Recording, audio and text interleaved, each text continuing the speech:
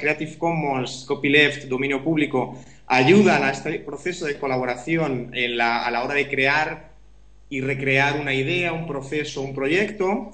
Probablemente el copyright eh, sea un velo talibán contra esta creación colectiva y participación. Puede haber algo de colaborativo.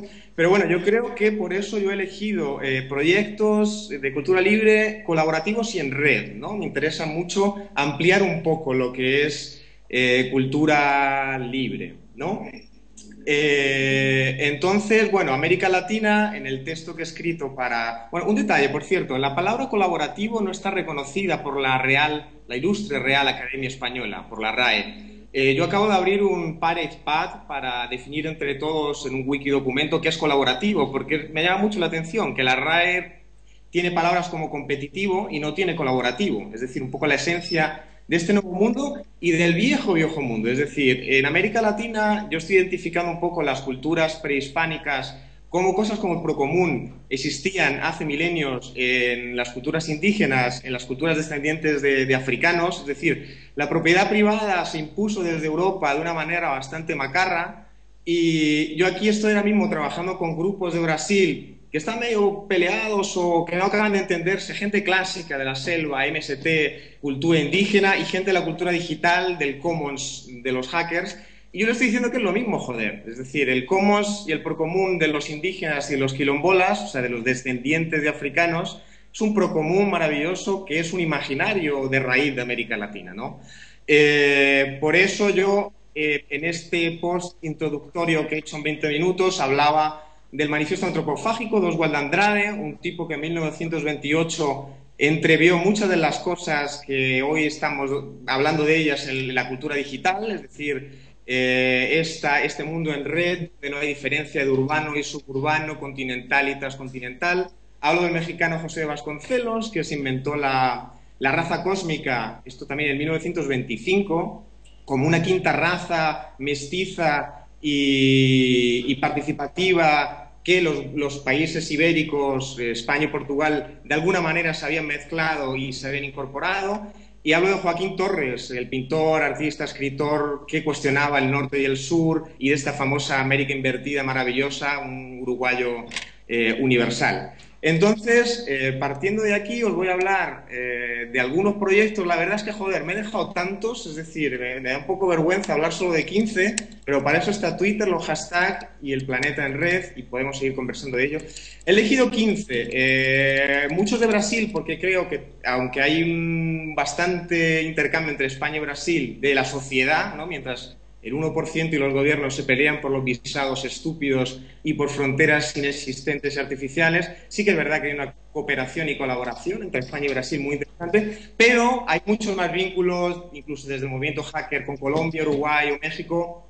He descartado algunos clásicos proyectos de Franigic, por ejemplo, en Tijuana, de los primeros hack labs que hubo en la frontera de México y Estados Unidos. He descartado, eh, bueno, muchísimos proyectos o el Correo de las Indias, Uruguay, con un vínculo con España y cultura hacker.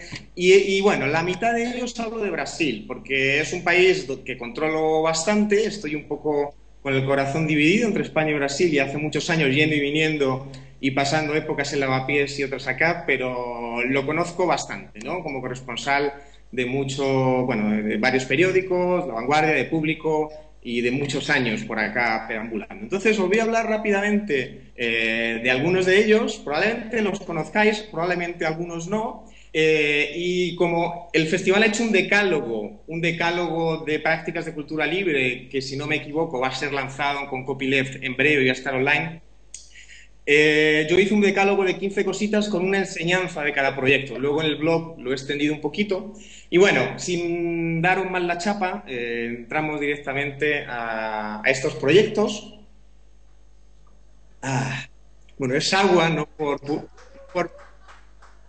puritanismo, pero es que la noche fue dura. Entonces, estoy un poco...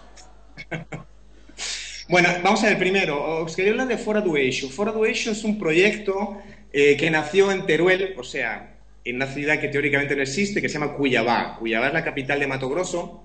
Entonces aquí, como en todos los países, hay un eje del bien de la industria cultural, como puede ser Madrid, Barcelona, aquí Río de Janeiro, Sao Paulo. Entonces esta gente empezó a decir, oye, ¿por qué los grupos eh, que no estamos en esas dos ciudades no tenemos visibilidad? ¿Por qué la industria nos ignora? ¿Por qué no aparecemos en los medios? Etcétera, etcétera. Entonces esta gente montó fuera del eje, una red de redes que entiende muy bien lo que es una comunidad, que tan mal lo han entendido las marcas y el poder. Una comunidad es una relación entre agentes y personas donde no hay una relación de jerarquía. Fora do Eixo es una organización horizontal distribuida en todo el país, tiene una moneda propia, ellos gestionan su música con licencias abiertas, con copyleft, con Creative Commons, eh, hacen proyectos con crowdfunding y tiene una serie de casas que, ya que en Brasil no hay esta cultura de centros ocupas, sí hay de ocupación, pero son de familias de agricultores que vienen de la Amazonia a las grandes urbes, están cumpliendo un poco ese papel de tabacalera, de patio maravillas y de tantos centros que en España y Europa son habituales. Entonces, bueno, aquí en Sao Paulo tiene una casa del carajo eh, están realmente apostando por quebrar monopolios informativos y culturales. Tienen la Post TV, que es una televisión en streaming distribuida que cualquier persona puede colgarse copiándose el código en su blog. Y es una televisión sin censura que está intentando colocar cuestiones que los grandes medios, que aquí son muy verticales, como Regi Globo o todas las televisiones, que realmente da pena verlas, y bueno, pues eh, me parece que es un colectivo muy interesante. Fuera del eje, fuera del eixo, eh, creo que es un modelo que funcionaría muy bien en España, dado la porosidad de nuestro movimiento copyleft y después de esta explosión emotiva colectiva del 15M, podemos pegarle un guantazo a, no solo a SGAE, sino al Ministerio de Cultura y a todos estos tipos medievales que no han entendido nada. Y bueno, seguimos hablando, que como veis me enrollo y no paro. Eh, quería hablaros del colectivo Antena Mutante de Colombia. Eh, no sé si ha ido Pablo de Soto al final, que debería estar en Brasil. Infelizmente eh, no ha podido venir por un problema del 1% de estos países lamentables que crean fronteras y, y nos hacen pagar a las personas por sus malos entendidos. Él estuvo con Antena Mutante y los conoce y probablemente otros también. Antena Mutante es un colectivo de Colombia que se dedican a hacer un poco el puente de Internet y espacio público, hackean el espacio público, crean participación, trabajan en lo que es un poco ciudades de código abierto, también con una estética y filosofía nómada de pequeños labs itinerantes creando redes y bueno, a mí me gusta, me pone bastante, Antena Mutante. Esta gente son los que hicieron Disney World, un mapa con Google Maps con caretos de Mickey Mouse, ese impresentable personaje, eh, en todo el mundo con las bases secretas de Estados Unidos militares. Bueno, me parece que es un colectivo muy interesante y que está creando redes y cuestionando una versión oficial de, la vida y de los hechos que en Colombia, como sabéis, está muy manipulada. ¿no? Eh, pasamos a transparencia hacker. Sí, sí.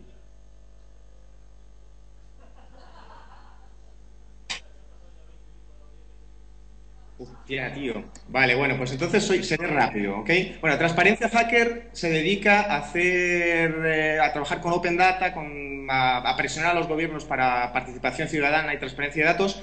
Esta gente hizo el clon del blog de Plan Alto, que es la Moncloa, es decir, cuando Dilma sacó un blog super guay, oye, tengo un blog para que lo presente sin comentarios, es decir, nadie podía comentar, oye, me gusta, no me gusta, esta gente lo clonó y, y automáticamente los comentarios del clon de Plan Alto o sea, el contenido del gobierno salía en un clon, espejo, y la gente comentaba y se cagaba en Dios y se cagaba en Dilma y tal. No quiero mirar a nadie, pero activistas, nuestros, las, webs de nuestros ministerios, aparte de impresentables y usabilidad y navegabilidad nula, no hay ninguna participación. Sigo. Todos somos dateros, es una experiencia de Perú, Doménico la conoce bien porque estuvo por allá es un poco el paradigma de ciudades inteligentes o ciudadanos inteligentes, una red independiente de ciudadanos recopilando datos ambientales, de problemas de tráfico y todo con hardware abierto, con Arduino, es decir, cómo la sociedad en red y conectada puede resolver problemas sin un Big Brother observador, una Smart City de control, de datos.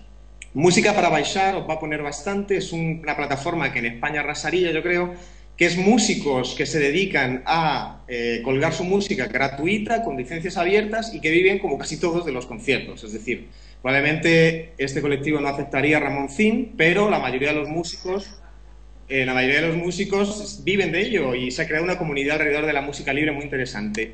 Es de Porto Alegre. Portoalegre.cc es una web del carajo que es una mezcla de plataforma activista como Oiga o Actuable y información, pero georreferenciada. Es decir, es una web donde la gente dice que hay un problema en este barrio, es el Fix My Street eh, anglosajón, pero con colorines, más participativo, con workshops paralelos, eh, está muy interesante. Sigo embalado porque, en fin, hablo, hablo bastante. Plataforma de Cultura Digital de Chile, estoy aquí en mi chuleta, ¿ok? Estoy en, la, en mi blog en 20 minutos. Bueno, es una plataforma. Eh, me interesa mucho esto de hablar de incubadoras de plataformas, porque en los últimos años hemos visto cómo los proyectos, ha habido muchas incubadoras de proyectos, pero con las lógicas del mercado, que el proyecto se acaba convirtiendo en un producto, en un producto normalmente cerrado y dentro de unas lógicas. Entonces, esta plataforma de Chile se dedica a conectar, a crear redes y a crear plataformas, ¿no? que es un poco lo que yo creo que nos, nos incumbe ahora. Cotidiano Sensitivo, Nordeste Brasil, es una reapropiación crítica de datos, de objetos conectados, la famosa Internet of Things, Internet de las Cosas, pero desde el arte digital, es decir, traducen datos ambientales, ecológicos, con visualizaciones cool dentro de eh, grupos de raíz, de cultura de raíz, como pueden ser afrodescendientes del Nordeste. Cultura Senda, he metido a esta plataforma o institución de Venezuela y Argentina. Eh, no me gusta que tengan copyright en su web, pero sí es verdad que vamos hacia un modelo donde las instituciones, más que como gestores y como gente que da subvenciones a artistas individuales, se tienen que incorporar redes. Y esta gente está muy preocupada en crear redes colaborativas donde se incorporan instituciones públicas, redes, ciudadanos, colectivos, multidisciplinar, me parece un camino interesante. El colectivo Puraqué, estoy embalado, ¿eh? eh no consigo mal, lo siento. El colectivo Puraqué es la hostia. Esta gente están en medio de la Amazonia brasileña, Santarém, que es una tierra del terror, es decir, yo estuve hace unos años con soja transgénica, paramilitares, un puto desastre. Ellos son montados y estaba todo desestructurado, tanto indígenas como pequeños agricultores, las grandes compañías mandando, bueno, desalojando de tierras, Ahí hay un colectivo que está trabajando con software libre. Ahí estuvo Pablo de Soto también, eh, gente muy interesante de Colombia, de Brasil, y se han dado cuenta que los indígenas que no entienden de propiedad privada y trabajan en colectivo y colaborando, entienden mejor que nadie el software libre. Es decir, nunca han tenido, tenido Windows ni Apple, no saben quién es Bill Gates. Entonces, han montado un núcleo impresionante de resistencia ciudadana, política, de colaboración, de cultura, muy interesante. Eh, me parece que va un poco por ahí esa comunión de indígenas con el software libre y que nos puede ayudar mucho a todos, a los urbanitas y gente de Europa, porque esta gente en América Latina ahora, en teoría, son el país del futuro. América Latina es el continente que crece macroeconómicamente. Entonces, buscar estos puentes con, con ellos me parece muy interesante. Eh, contravigilancia, México. Eh, ya estoy acabando. ¿eh? Contravigilancia Contravigilancia es un proyecto muy sencillo, de dar la vuelta a la tortilla de la vigilancia y el poder, a estas camaritas que tenemos en lavapiés o en el Raval, y han hecho un mapa ciudadano colectivo de dónde están las cámaras que nos espían y consiguen nuestros datos. Ha habido otros proyectos, sí en Estados Unidos, y me parece un primer paso. Yo sueño, Olmo y otros lo saben, con un Big Brother ciudadano para vigilar la entrañable policía española, todo el mundo con webcams en, las, en los balcones, en las calles y una especie de plataforma web donde eh, policía vigila tu porra. Somos el Big Brother, cuídate. Eh, no quiero mirar a nadie, Dani, activista. Parece que eh, estaría muy bien.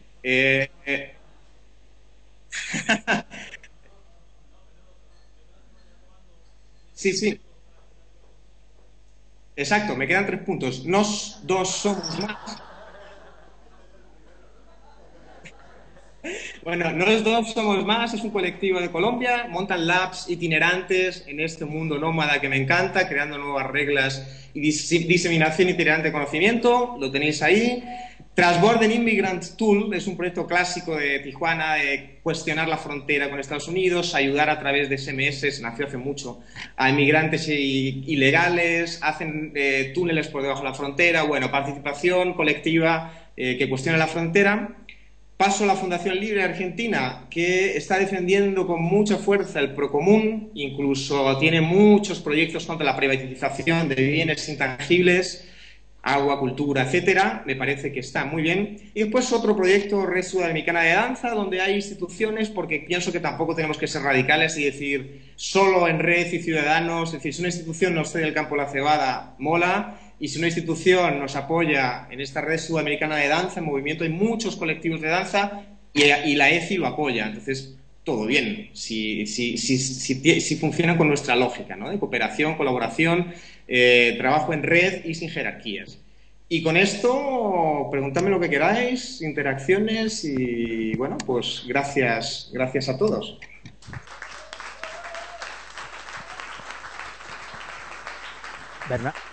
Bernardo.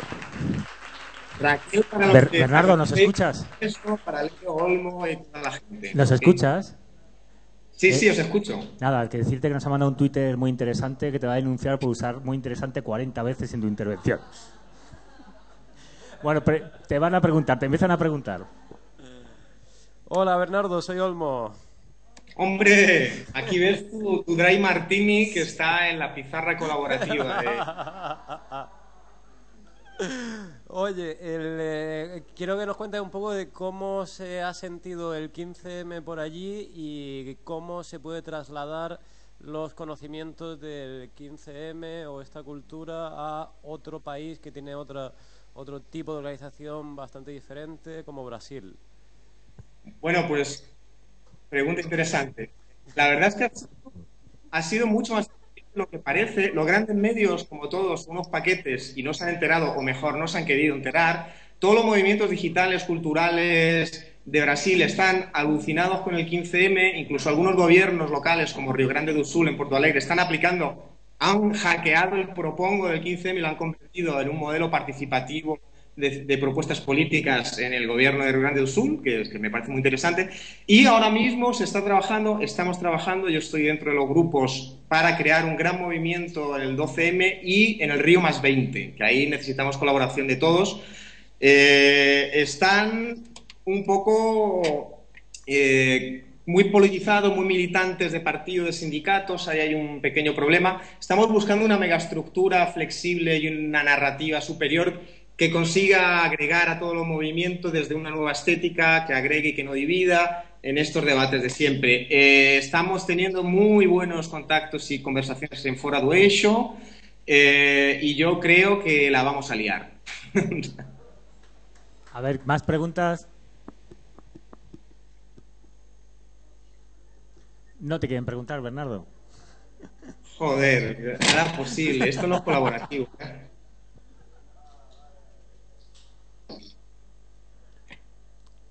¿Eh? y bueno, desde América Latina yo estuve en México también hablando con mucha gente interesante. Estuve, es, que nadie me pregunta, joder. Estuve hablando mucho de 15M y de tal. En México hay mucho interés porque hay una narrativa del poder, de la violencia, del enemigo, del narcotráfico. Y sé que están buscando caminos también, ¿no? Y hasta donde ellos en Colombia. Yo creo que hay bastante interés. Y lo que tenemos que pensar es que ha sido una explosión colectiva, una bomba atómica de emociones que todavía no sabemos el alcance que ha tenido y va a tener el 15M. Estamos inaugurando una nueva época en red de microluchas y microutopías conectadas y como soy un pesado, pues a ver si me preguntan, joder. Hola, hermoso, soy Marisa. Quería saber si ahí en donde estás viviendo ha habido acampadas. Vamos a ver, en, Brasil hubo acampadas después de Occupy, es decir, después del 15M hubo movimientos en los consulados de España y hubo un cierto debate, pero después de Occupy hubo Occupy Río y Occupy Sao Paulo. No acabaron de funcionar, porque yo creo que cada país tiene que buscar una estrategia diferente. Y aquí pues es más difícil, se llenó de... eran 90% mendigos, se les criminalizó mucho. Luego en Porto Alegre, en el 15-2, yo estaba en Madrid, pero sé que hubo 40.000 personas en la calle, sindicatos y partidos con banderas, pero 15O, lucha global. Y bueno, eh, si esta estructura nueva que estamos buscando por acá funciona, oiréis hablar. Habrá, va a haber bastante, bastantes cosas pasando. Pero creo que aquí la acampada no funcionó. No funcionó. Eh, por peculiaridades del país y por visibilidad, por. ¿Alguna pregunta? ¿Algún? Oh, oh. Sí, sí. Ah, ¿Alguna pregunta más? Pues nada, Bernardo, muchas gracias y, y nada, seguimos en contacto. Un abrazo.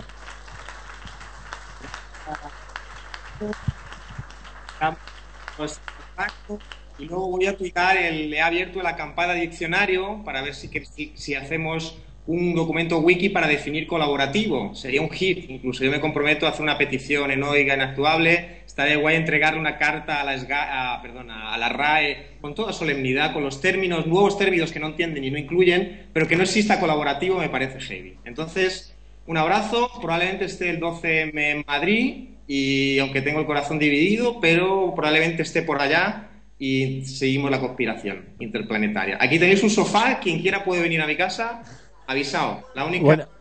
Oye, no te preocupes, que en el JMJ de allí te mandamos a un par de detenidas de aquí para allá. Gracias, Bernardo. Un abrazo. Bueno, pues ya acabamos. Muchas gracias a todas y a todos por este maratón que hemos tenido. Yo creo que hemos aprendido y hemos conocido muchas cosas y hemos reflexionado. Muchas gracias. Hasta la próxima. Y nada, y a recoger, ¿eh? No os vayáis, hay que recoger.